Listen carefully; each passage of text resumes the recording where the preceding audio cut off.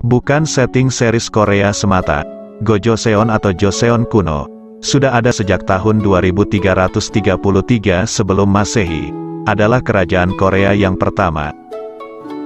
Kerajaan ini memang sering menjadi latar belakang film-film bertema Korea kuno, tapi nyatanya, Gojoseon memang benar-benar ada, bukan fiksi belaka. Berdasarkan Dongguk Tonggam, yaitu catatan sejarah kuno yang ada sejak zaman Joseon tahun 1485, menuliskan bahwa sosok bernama Dangun, mendirikan Gojoseon pada tahun ke-50 masa pemerintahan Kaisar Yao yang berkuasa di zaman Cina kuno. Sedangkan menurut Samguk Yusa, Gojoseon berawal dari kota kerajaan, yang kemudian berkembang menjadi sebuah federasi atau gabungan kerajaan yang kuat pada sekitar abad keempat sebelum masehi di lembah sungai Liao dan Taedong. Yang kini berada di daerah Korea Utara dan Manchuria Selatan. Batas utara Gojoseon adalah sungai Liao sementara tetangga selatan terdekatnya adalah negara bagian Jin. Orang-orang Gojoseon menyebar di Manchuria, Cina Timur tepatnya di utara sungai Yangtze, dan semenanjung Korea, beberapa teks Cina mencatat orang-orang Gojoseon sebagai salah satu Doni, yang berarti orang barbar timur. Mengenai asal-usul Gojoseon ini, masih diselimuti oleh mitos. Dalam salah satu mitos itu, dikatakan bahwa Dangun sang pendiri kerajaan merupakan anak dari seorang putra penguasa surga yang bernama Huaning. Dia menikah dengan seekor beruang yang berubah menjadi wanita, Mitos tersebut menutupi tentang awal keberadaan Gojoseon. Ditambah sejarah awal Gojoseon ini sangat sulit untuk diselidiki, karena situs-situs yang berkaitan dengan Gojoseon berada di dalam Korea Utara, negara yang merupakan negara tertutup bagi negara lainnya. Namun sebagian sejarawan modern dapat menghubungkan catatan sejarah perdewaan tersebut dengan bukti-bukti konkret, Salah satu bukti awal mengenai pendirian Joseon pertama kali tercatat dalam catatan-catatan sejarah China, yaitu dalam catatan sejarawan agung yang ditulis oleh sejarawan Tiongkok Sima Qian. Dalam catatan Sima Qian memang sudah ada kerajaan yang bernama Gojoseon, namun mengenai penamaan Dangun, bisa saja merupakan gelar legitimasi raja agar rakyat menyanjungnya sebagai keturunan dewa. Gojoseon memang mengadopsi gelar Cina Wang, atau yang berarti raja. Hal tersebut menggambarkan pengaruh awal dari tetangganya yaitu Cina, mungkin sebagai mitra dagang, atau juga sebagai perantara antara Cina dan negara bagian selatan Korea. Indikator lain dari hubungan perdagangan adalah ditemukannya koin pisau sabit Cina di berbagai situs Korea. Selain itu, Bukti konkret lainnya yang ditemukan oleh para sejarawan adalah penemuan sejumlah besar artefak dan situs tempat tinggal suku Yemek, yang dikenal sebagai suku kuno yang muncul pada masa Gojoseon.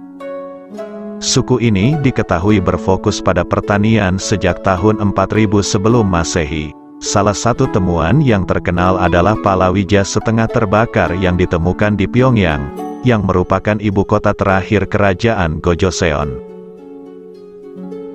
Perkembangan pertanian dan permukiman di semenanjung Korea dan Manchuria menyebabkan penyatuan kelompok suku-suku dan pendirian negara-negara kuno. Selain hal tersebut, peninggalan budaya yang diketemukan juga menambah wawasan tentang keberadaan Gojoseon ini. Para arkeolog menemukan budaya tembikar dengan desain yang dilukis dan dipahat dari sekitar tahun 2000 sebelum masehi. Orang-orang Gojoseon mempraktikkan pertanian dalam kehidupan komunal yang menetap. Para arkeolog juga telah menemukan gubuk persegi panjang dan situs pemakaman dolmen yang besar di seluruh semenanjung Korea. Belati dan cermin perunggu juga telah diketemukan di beberapa wilayah Korea yang diindikasi sebagai peninggalan orang-orang Gojoseon. Zaman perunggu di semenanjung Korea menurut sebagian besar sejarawan, dimulai sekitar 1000 sebelum masehi, tetapi perkiraan berkisar dari abad ke-15 hingga ke-8 sebelum masehi. Budaya zaman perunggu Korea berasal dari Liaoning dan Manchuria, yang menunjukkan tipologi dan gaya yang unik, terutama dalam ritual-ritual kuno.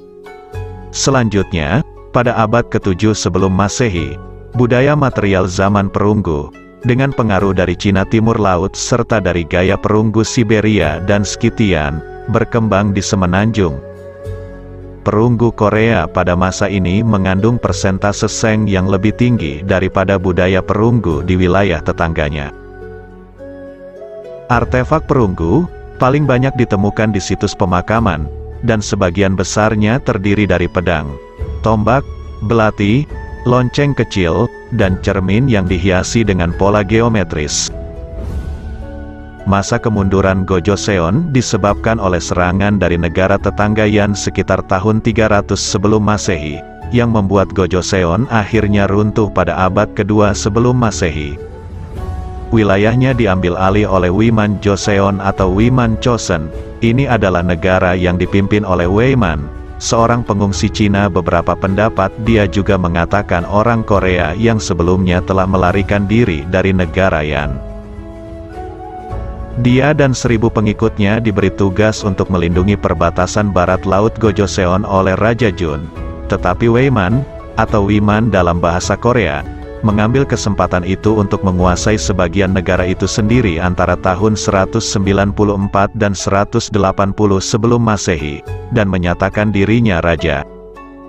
Jun dikatakan telah melarikan diri ke selatan, ke negara bagian Jin di mana ia memerintah sebagai raja, Dialah yang mungkin telah membawa unsur-unsur budaya Cina ke Korea seperti Konfusianisme dan Taoisme.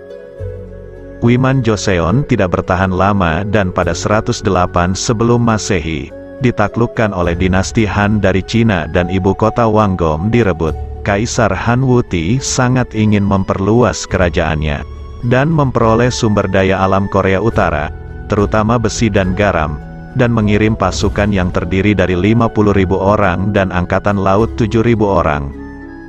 Setelah menyingkirkan kerajaan-kerajaan di Korea, Han kemudian membagi Korea menjadi empat komando yang secara langsung dikelola oleh pemerintah pusat Han.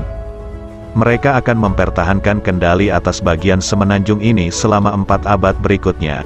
Pengungsi dari Wiman Joseon yang telah kalah membawa budaya mereka ke selatan, yang pada akhirnya akan bangkit kembali dan selalu berperang dengan Cina pada periode tiga kerajaan di Korea pada masa berikutnya, yaitu Kerajaan Goryeo, Baekje dan Silla.